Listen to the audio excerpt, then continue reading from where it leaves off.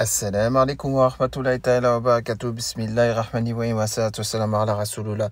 Et ouais, j'espère que vous allez tous bien. Donc, réaction à une petite vidéo qu'on vient de m'envoyer, sûrement provenant de TikTok. Donc, euh, je lance la vidéo et puis après, on réagira à la vidéo. Bismillah.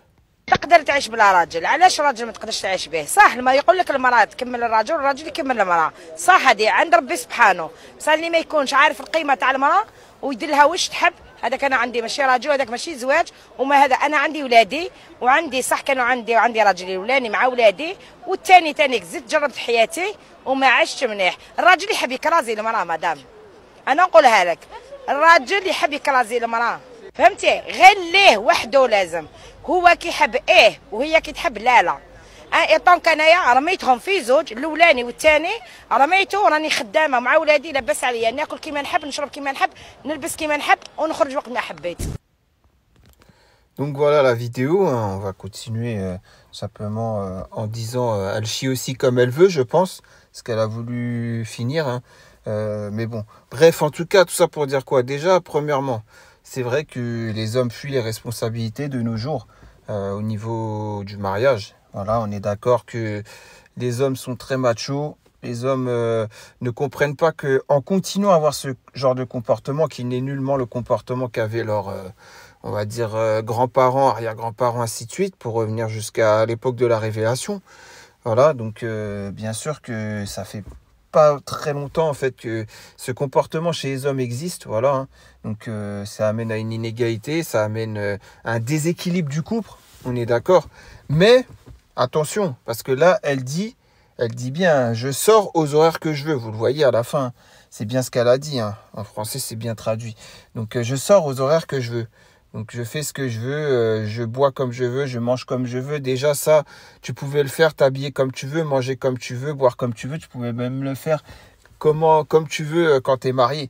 Donc ça avait rien à voir. C'est pas parce que tu étais marié que tu pouvais pas t'habiller, manger et boire comme tu veux, premièrement. Ensuite, deuxièmement, quand tu dis je sors aux horaires que je veux, mais rien ne t'empêche de sortir euh, si tu as l'accord de ton mari, tout simplement. Maintenant, là, si je comprends bien, tu es avec tes enfants, tu, n'es pas régi par un mahram, donc un tuteur euh, n'existe pas pour toi.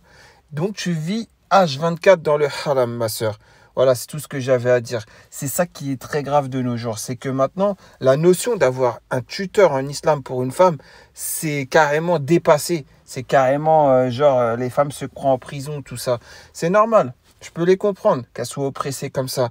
Vu le comportement et l'attitude euh, qu'ont les hommes dans notre communauté aujourd'hui, il est tout à fait normal que les femmes en soient dégoûtées et prennent euh, la tangente, c'est-à-dire euh, l'independent woman, comme on dit, hein, le chemin de l'indépendance de la femme. Voilà, hein, tout simplement.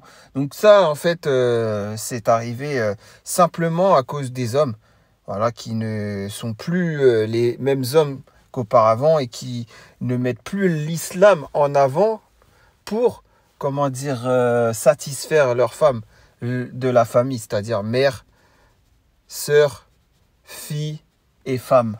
D'accord? Si je dis mère, c'est bien parce que ça existe. hein. On peut le voir hein, dans les reportages 90 minutes enquête. Excusez-moi, euh, c'est pas un hasard si euh, la police ils viennent soulever euh, dans un appartement parce qu'ils ont perquisitionné, hein, parce qu'ils avaient arrêté un jeune qui avait des trucs sur lui. Voilà, et qu'on voit la mère voilée, qu'elle soit malienne ou algérienne ou marocaine ou je sais pas quoi, une haja, et qui dit Mon fils, qu'est-ce que t'as encore fait, mon fils? Pourquoi encore des bêtises, mon fils? Qu'est-ce que t'as encore fait? Qu'est-ce que tu caches? Voilà. Vous voyez ce que je veux dire? Donc, ça aussi, c'est pour ça que je dis aussi les mères, on les respecte plus. Donc, toutes les femmes de la famille, de la mère jusqu'à la fille, jusqu'à la femme, jusqu'à la sœur, on les respecte plus. Je parle en général, je parle pas pour moi, mais je parle en général, je me mets dans l'eau. Sinon, vous allez encore dire que, ouais, euh, toi, euh, tu te crois au-dessus des autres. Je suis pas au-dessus des autres.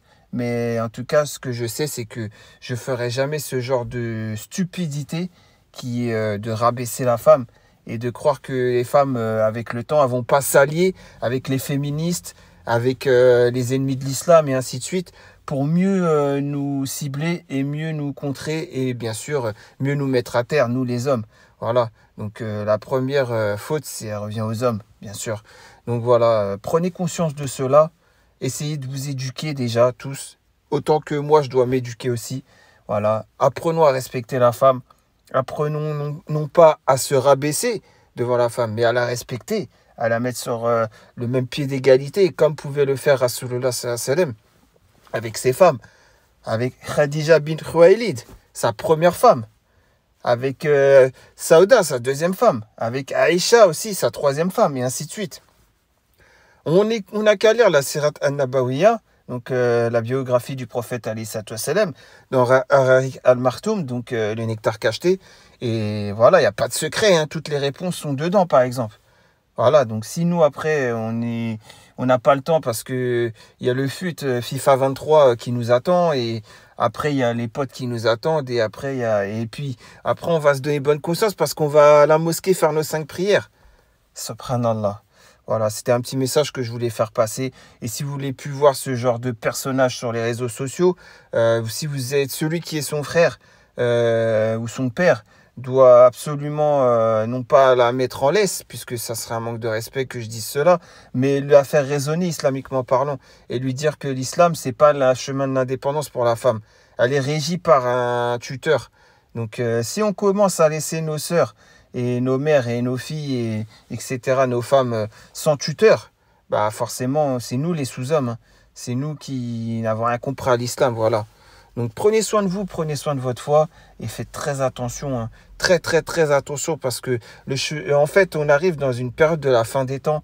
On va faire d'autres réactions à d'autres vidéos parce que maintenant on a même bien sûr des savants qui vont autoriser ce genre de situation pour la femme alors que c'est nullement autorisé, on est d'accord. Bref, sur ce, à la prochaine, Inch'Allah, salam alaikum.